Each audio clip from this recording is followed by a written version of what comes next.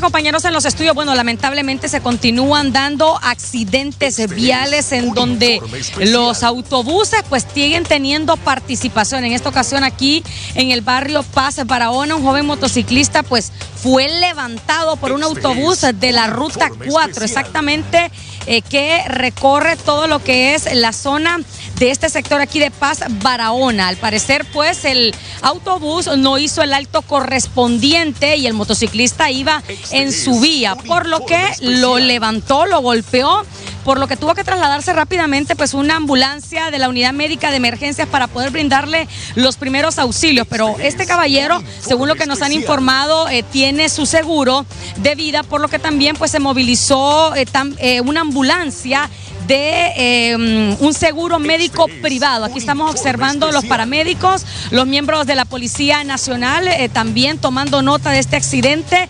Ya varios que han ocurrido a lo largo de todo el día en la que han tenido participación varios autobuses. En esta ocasión, pues gracias a Dios, las heridas no son de gravedad, pero sí obviamente tendrá que ser trasladado hasta un centro médico. Este joven motociclista que salió con varios raspones en sus brazos y aquí está pues la motocicleta en la que él se conducía. Accidente ocurrido aquí en el barrio Paz Barahona de San Pedro Sur, exactamente en la 15 calle 9 Avenida. Precaución a los motociclistas y precaución también a todos los conductores de autobuses porque generalmente se convierten en los principales protagonistas de los diferentes accidentes a nivel nacional. Con las imágenes del Toro Mengíbar, regresamos a estudios.